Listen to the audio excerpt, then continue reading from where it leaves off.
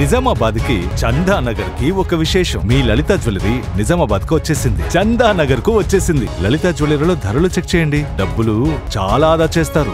డబ్బులు ఎవరికి? ఊరికే రావు. ఇది నాకు లభించినటువంటి సమాచారాన్ని బట్టి నేను అనలైజ్ చేసింది. నా అభిప్రాయం మాత్రమే. ఇది దీన్ని దీన్ని బట్టి శాస్త్రాన్ని నిర్ణయించాల్సిన అవసరం లేదు. శాస్త్రాన్ని నేను చూసే విధానం కావచ్చు. శాస్త్రాన్ని నేను అర్థం చేసుకునే విధానం కావచ్చు. నా అర్థం నాకు అర్థమైనంత వరకు నేను విశ్లేషణ చేసినంత వరకు రాబోయే కాలం మాత్రం జగన్మోహన్ రెడ్డి గారికి చాలా అనుకూలంగా ఉంది. ఓకే. మిగతా వాళ్ళందరూ కూడా అంటే మళ్ళీ ఇంకొకటి అనుకూలంగా ఉంది. మిగతా వాళ్ళు కూడా ఎవరైతే మిగతా పార్టీలు ఉన్నాయో ఆ పార్టీలు వారు వారు కూటమిలాగా ఏర్పడితే వాళ్ళు కూటమిలాగా ఏర్పడినప్పుడు వాళ్ళకి అనుకూలమైనటువంటి ఫలితం వస్తుందా లేదా? కాకపోతే ఒక్క మాట మాత్రం ఏంటంటే ఇప్పుడు వచ్చినట్టుగా నూట యాభై ఒక్క సీట్లు మాత్రం రావు. ఖచ్చితంగా ఖచ్చితంగా కొంతవరకు తగ్గుతుంది. అయితే రాబోయే కాలంలో కూటములు అనేవి ఎలా ఏర్పడతాయి ఎవరెవరు వచ్చి చేరుతారు అనేటువంటి దానిపైన. ప్రస్తుతం ఉండేటువంటి స్థితి ప్రకారం మాత్రము ఇంకొక టర్ము ఆ తర్వాత కూడా ఇంకో కొంతకాలం వరకు కూడా జగన్మోహన్ రెడ్డి గారికి అనుకూలమైన చాలా అనుకూలమైనటువంటి వాతావరణం ఉంది. అయితే ఇప్పుడు మీరు చెప్తూ నూట డెబ్బై ఐదు మంది జాతకాల ఫలితమే ముఖ్యమంత్రి అయ్యే అవకాశం ఉంది అన్నట్టుగా చెప్పారు. నూట డెబ్బై ఐదు మందిని కాసేపు పక్కన పెడితే నూట డెబ్బై నాలుగు మందిని పక్కన పెడితే నూట డెబ్బై నాలుగు మంది జాతకాలు ఎలా ఉన్నా అసలు జగన్మోహన్ రెడ్డి గారి జాతకం ఎలా ఉంది ఆయనకి రాజయోగం ఉందా లేదా దాని జగన్మోహన్ రెడ్డి గారికి చెప్పాను కదా మన నెక్స్ట్ టర్మ్ ఆ తర్వాత కూడా సగం టర్మ్ వరకు ఆయనకు చాలా అనుకూలమైనటువంటి వాతావరణం ఉంది. కాకపోతే మళ్ళీ రేపు ఆయన ఈ రోజు వరకు వచ్చే సంవత్సరం వరకు అంటే రేపు రెండు వేల ఇరవై నాలుగు వరకు ఆయనతో జత కట్టి అంటే దీంట్లో మనం చూడాల్సింది ఏంటంటే ఏడో ఇల్లు చూడాలి. లగ్నం నుంచి ఏడో ఇల్లు చూసుకోవాలి. ఏడో ఇంట్లో అంటే భాగస్వామి రాజకీయ భాగస్వామి. జీవితంలో అయితే వివాహానికి అయితే జీవిత భాగస్వామి. రాజకీయ భాగస్వామి ఎవరుంటారు? వారు ఈయనకు అనుకూలంగా ఉన్నారా లేదా? ప్రస్తుతానికి అనుకూలంగా ఉండేటువంటి వాతావరణం ఉంది కాబట్టి అనుకూలంగా నడుస్తుంది. రేపు కొంచెం వ్యతిరేకమైనటువంటి వాళ్ళు సప్తమ స్థానంలోకి ఏడవ స్థానంలోకి వచ్చారనుకోండి అప్పుడు కొంచెం ఇబ్బందికరమైనటువంటి పరిస్థితులు ఏర్పడతాయి. ఓకే. కాకపోతే మనకు ఉండేటువంటి పరిజ్ఞానం ప్రకారము ఈ రెండు వేల ఇరవై రెండు ఆగస్టు తర్వాత జగన్ గారిని కొంచెం ముట్టుకోవడం కూడా కష్టమే. అంటే వారిది చాలా ఉచ్చమైనటువంటి స్థితిలో వారి టైం నడుస్తుంది. ఓకే. అంటే వారిని రాబోయే కాలంలో మళ్ళీ ఒకసారి కూడా ముఖ్యమంత్రి లాగా చూసేటువంటి అవకాశం ఉంది. ఇప్పుడు ఉన్నటువంటి స్థితి ప్రకారం. ఓకే. అయితే జగన్మోహన్ రెడ్డి గారు ఈ మధ్య కాలంలో అంటే గత ఆరు నెలలుగా తను ఏ స్పీచ్లో చెప్పినా ఎక్కడ చెప్పినా ఒక కామన్గా ఒక వర్డ్ వాడుతూ ఉన్నారు. అదేమిటంటే నూట డెబ్బై ఐదుకి నూట డెబ్బై ఐదు. కుప్పంతో సహా మాదే స్థానం దక్కాలి అన్నట్టుగా ఆయన కామెంట్ చేస్తూ ఉన్నారు చెప్తూ ఉన్నారు. అది కుప్పం కూడా వైఎస్ఆర్సీపీ జెండా పాతనుందా కుప్పంలో కూడా? అంటే ఇండివిజువల్గా ఒక్కొక్క కాన్స్టిట్యుయెన్సీ మీద తీసుకొని చెప్పడం కష్టం అమ్మ. కాకపోతే నూట డెబ్బై ఐదుకి నూట డెబ్బై వస్తాయా రావా అంటే ప్రజాస్వామ్యంలో నూట డెబ్బై ఐదుకి నూట డెబ్బై ఐదు రావు. రాకూడదు కూడా. ఎందుకు రావు అని చెప్తున్నాం? ఎందుకు రాకూడదు అంటే అందరూ ఒకటే రాజు ఉంటే కనీసం ప్రతిపక్షం అనేది ఉండాలి వారు చేసేటువంటి తప్పుల్ని ఎత్తి చూపేటువంటి వాళ్ళు ఉండాలి మా కాన్స్టిట్యుయెన్సీకి పలానా పని కావాలి అని అడిగేటువంటి వాళ్ళు ఉండాలి. ఇది ప్రజాస్వామ్యం ప్రకారం చెప్తున్నాను నేను.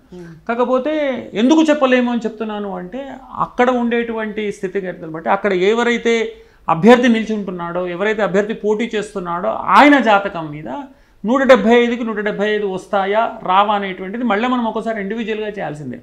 మనకు ఓవరాల్గా కావాల్సింది ఏంటంటే రాజు అవుతాడా లేదా అంటే మెజారిటీ కంటే అంటే మెజారిటీ వస్తే చాలు. సగం కంటే నూట డెబ్బై ఐదులో సగము అంటే ఎనభై ఎనిమిది సీట్లు వస్తే ఆయన ముఖ్యమంత్రి అయిపోతారు. కాబట్టి ఎనభై ఎనిమిది మ్యాజిక్ ఫిగర్ అయితే ఉందో చాలా సులువుగా దాటేస్తారు ఆయన.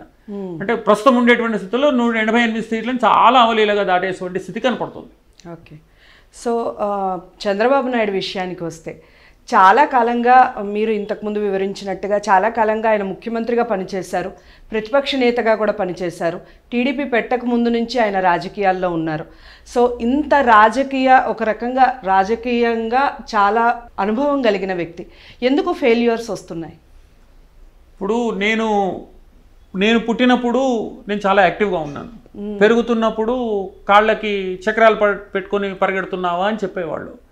అలా ఒక్కొక్క వయసు వయసు వస్తున్న కొద్దీ పాతిక ఏండ్లు వచ్చిన తర్వాత ముప్పై ఏండ్లు వచ్చిన తర్వాత నలభై ఏండ్లు వచ్చిన తర్వాత యాభై ఏండ్లు వచ్చిన తర్వాత ఇప్పుడు నడవాలి అంటే ఎవరైనా ఒకళ్ళు తోడు ఉండాల్సి వస్తుంది. ఎక్కువ దూరం నడవాలంటే ఎక్కువ దూరం నడవలేకపోతున్నాను ఎందుకు అలా జరిగింది అంటే మనిషికి ఉండేటువంటి శారీరకంలో శరీరంలో జరిగేటువంటి సామాన్యమైనటువంటి మార్పులు.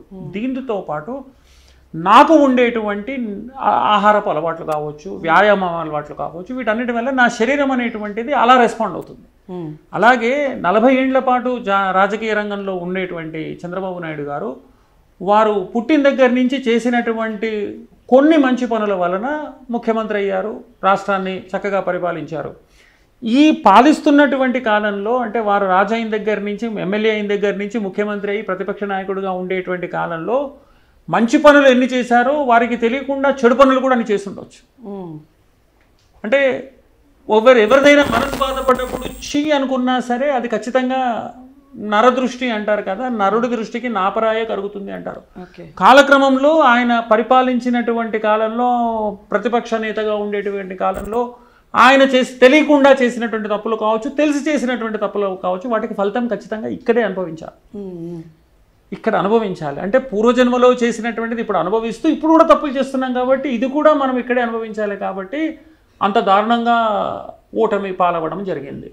రెండవది మనం నమ్మినా నమ్మకపోయినా ఎక్కడో ఉండేటువంటి కొన్ని వేల లక్షల కోట్ల కాంతి మైళ్ళ దూరంలో ఉండేటువంటి సూర్యుడి యొక్క ప్రభావం మన మీద పడుతుంది. సూర్యుడు వేడిగా ఉందంటాము మబ్బు పడితే చల్లగా ఉందంటాము చంద్రుడు వస్తే హాయిగా ఉందంటాము.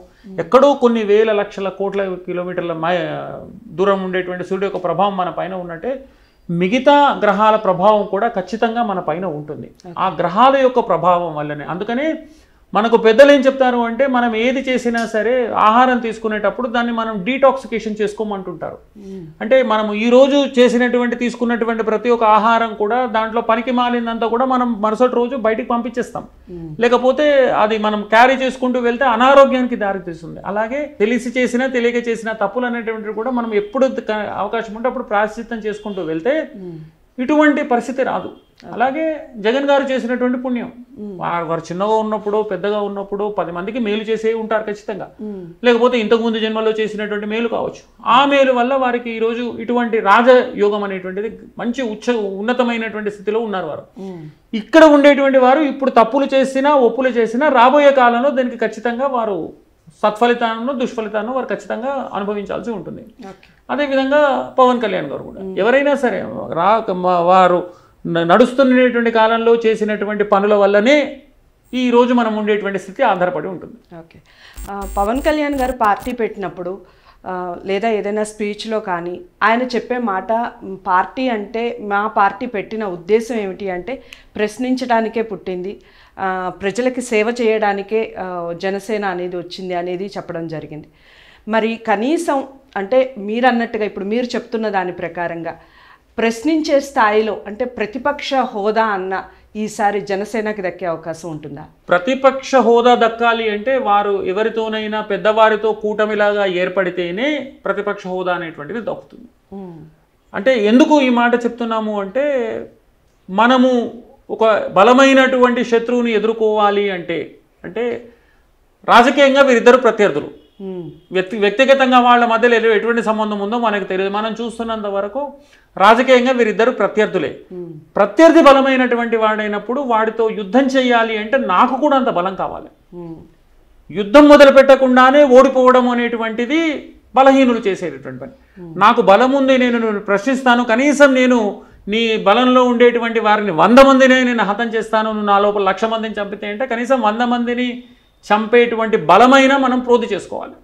బట్ అటువంటి అవకాశం అనేటువంటిది పవన్ కళ్యాణ్ గారికి రావాలంటే మాత్రం ఖచ్చితంగా వారు ఈ చంద్రబాబు నాయుడు గారితో కాకుండా ఇంకేదైనా బలమైనటువంటి పార్టీ యొక్క సహకారం తీసుకొని అంటే యుద్ధానికి వెళ్ళేటప్పుడు ఇప్పుడు మనం రష్యా ఉక్రెయిన్ యుద్ధం చూస్తున్నాం. రష్యాకి సపోర్ట్ చేసే దేశాలు ఉన్నాయి ఉక్రెయిన్కి సపోర్ట్ చేసే దేశాలు ఉన్నాయి. అట్లాగే వేరే రాష్ట్రాల్లో ఉండేటువంటి పార్టీలు దేశంలో ఉండేటువంటి పార్టీలు ఎవరైనా సరే పవన్ కళ్యాణ్ గారికి అండగా నిల్చుంటే వారికి సపోర్ట్ ఇస్తే వారు మీరు అడిగినట్టుగా ప్రతిపక్ష స్థానంలోకి వచ్చేటువంటి అవకాశం ఉంది. కాకపోతే ఇండివిజువల్గా తీసుకుంటే మాత్రము ప్రస్తుతం ఉండేటువంటి పరిస్థితుల్లో జగన్మోహన్ గారిని ఢీకొట్టేటువంటి అవకాశం తక్కువగా కనపడుతుంది. ఓకే. లేదని చెప్పలేం కానీ తక్కువగా కనపడుతుంది. ఓకే. ఎంత మీరు అన్నట్టుగా ఎవరైనా పొత్తు తీసుకున్నప్పటికీ ఇప్పుడు రాజకీయంగా జగన్మోహన్ రెడ్డి గారు కనుక ఒకవేళ సీఎం అయితే చంద్రబాబు నాయుడు గారు ప్రతిపక్ష హోదాలో ఉన్నారు ఆల్రెడీ ఉంటారు అన్న నమ్మకం కూడా ఉంటుంది.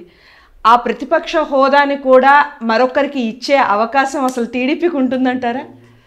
అంటే మనం చంద్రబాబు నాయుడు గారిది ఇండివిజువల్గా జాతకం కింద తీసుకుంటే వారికి అంటే ఇప్పుడు రాజకీయాల్లో జీవితంలో ఉద్యోగం చేసేటట్టయితే ఈ పర్టికులర్ రిటైర్ అయిపోయి రిటైర్ అయిపోయి కూడా ఒక పది పదిహేను సంవత్సరాలు అయిపోయేది. అయినా సరే వారికి ఈ రోజుకే అంతే ఉత్సాహంగా నేను ఇంకా ఉద్యోగంలో ఉన్నట్టుగానే పని చేస్తున్నాను అని చెప్పి వారు తిరగడము మాట్లాడడము ప్రజలతో మమేకం అవ్వడం చూస్తే ముచ్చటేస్తుంది. అంటే వయసు రీత్యా. ప్రతి ఒక రాజకీయ పార్టీ లాగా కాకుండా కాకపోతే ఒక వ్యక్తి వ్యక్తిగతంగా తీసుకుంటే అసలు పొలిటికల్ లీడర్స్ అరవై ఏళ్ళు దాటిన తర్వాతనే ఎక్కువ మంది వీరు వీరు చాలా యాక్టివ్గా చాలా యాక్టివ్గా కనపడతారు. అంటే ఎక్కడికక్కడ ప్రజల సమస్యలు తెలుసుకోవాలి వెళ్ళాలి మాట్లాడాలి వాళ్ళతో మమేకం అవ్వాలి అనేటువంటి తపన కనపడుతుంది. కాకపోతే ఆ తపన ఒకటే సరిపోదు. ఆ తపన అనేటువంటిది ప్రజలకి చేరువుగా చేస్తుంది. కానీ మళ్ళీ తీరా ఆ ప్రజలు కూడా పోలింగ్ బూత్లోకి వెళ్ళిన తర్వాత ఎవరికి ఓటు వేయాలి అనేటువంటి దానిపైనే ఆధారపడి ఉంటుంది. అంటే ప్రస్తుతం ఉండేటువంటి స్థితిలో అయితే చంద్రబాబు నాయుడు గారికి ఆ ప్రతిపక్ష నాయకుడి హోదాకి ఏమీ ఢోకా లేనటువంటి స్థితి కనపడుతుంది. ఇంకోసారి కూడా వారు ప్రతిపక్ష స్థానంలో కూర్చునేటువంటి అవకాశాలు పుష్కలంగా కనపడుతున్నాయి. కాకపోతే అనుకోకుండా ఏవైనా పరిస్థితులు మొత్తం తారుమారయ్యి అంటే చాలా మందికి అభిమానం కొద్దీ రాజకీయంగా వ్యక్తి ఉండేటువంటి అభిమానం కొద్దీ మళ్ళీ చంద్రబాబు నాయుడే ముఖ్యమంత్రి అవ్వచ్చు అవుతాడు ఖచ్చితంగా ప్రస్తుతం ఉండేటువంటి రాజకీయ పరిస్థితులను బట్టి చూసుకుని అంటే రాజకీయ ప్రత్యర్థిలాగా నేను ఎవరి మీదైనా దుమ్మెత్తిపోయొచ్చు. ఉమ్. కానీ జాతకం ఏం చెప్తుంది అనేటువంటిది గ్రహస్థితి ఏం చెప్తుంది అనేటువంటిది. ఇప్పుడు రెండు వేల ఇరవై రెండులో ఉన్నాం ఇంకో సంవత్సరన్నర టైం ఉంది. ఈ సంవత్సరన్నరలో వీరు చేసేటువంటి మంచి పనులు చెడు పనులు ఏవైతే ఉన్నాయో రాబోయే కాలంలో ఖచ్చితంగా ఎవరు ఎవరు ఏ స్థానంలో కూర్చుంటారు అనేటువంటి నిర్ణయించబడుతుంది. ప్రస్తుతం ఉండేటువంటి స్థితిలో మాత్రము జగన్మోహన్ రెడ్డి గారు కొంచెం జాగ్రత్త పడి కొంచెం జాగ్రత్త పడి ఆయనకు ఉండేటువంటి వనరులన్నింటినీ కూడా ఆయన జాగ్రత్తగా వాడుకుంటూ వెళ్తే ఇంకొక టర్మ్ కూడా తిరుగులేని స్థితిలో ఆయన ఖచ్చితంగా ఉంటారు ఓకే. జగన్మోహన్ రెడ్డి గారి ఫెయిల్యూర్స్ని మాట్లాడుతూ ప్రతిపక్షాలు చేస్తున్న కామెంట్స్ మీరు ఎంతవరకు సమర్థిస్తారు? ఒక ప్రాజెక్ట్ లేదు ఒక దాన్ని ఏమంటారు ఒక సంస్థ రాలేదు ఒక ఐటీ కంపెనీ రాలేదు. ఏది రాలేదు? జగన్మోహన్ రెడ్డి గారు వచ్చారు ముఖ్యమంత్రి సీట్లో కూర్చున్నారు కానీ ఎటువంటిది తీసుకురాలేదు అని. ఉన్న ఎన్టీఆర్ యూనివర్సిటీని కూడా పేరు మార్చేశారు అని చెప్పడం. ఇవన్నీ ప్రతిపక్షాలు చేస్తున్న ఆరోపణలు. దీన్ని ఏ విధంగా తీసుకుంటారు? మీరన్నట్టుగా పాపం పుణ్యం అనే ఈ ఈ కోణంలో ఆలోచిస్తే జగన్మోహన్ రెడ్డి గారి మీద ఇంత ప్రతిపక్షాలు ఈ రకంగా ప్రచారం చేస్తున్నాయి చెప్తూ ఉన్నాయి కాబట్టి దాన్ని మీరు ఏ రకంగా తీసుకొని చెప్తారు? ఖచ్చితంగా ప్రతిపక్షం ఉండేటువంటి వాళ్ళు ఉండేటువంటి స్థితిలో అధికార పక్షాన్ని దుయ్యబట్టడానికే ఉన్నారు. ప్రస్తుతం కాలంలో కలియుగంలో ఏంటంటే అధికార పక్షంలో ఎవరున్నా సరే వాళ్ళని దుమ్మెత్తిపోయాలి. రెండవది ప్రస్తుతం మనం ఉండేటువంటి స్థితిలో కూడా ఎలా ఉంది అంటే ప్రజలు కూడా వర్గాల్లాగా విడిపోయారు. ప్రజలందరూ కూడా. అంటే ఒక మీడియా ఎలాగైతే ఒక్కొక్క మీడియా ఒక్కొక్క ఛానల్ ఒక్కొక్క పార్టీని వెనకేసుకొని వారి జెండా పట్టుకొని తిరగడం ఎలాగైతే మొదలుపెట్టారో ప్రజల్లో కూడా. అంటే ప్రజలు అని ఎందుకు చెప్తున్నాము అంటే ఇప్పుడు సోషల్ మీడియా అనేటువంటిది చాలా కీ రోల్ ప్లే ప్లే చేస్తుంది.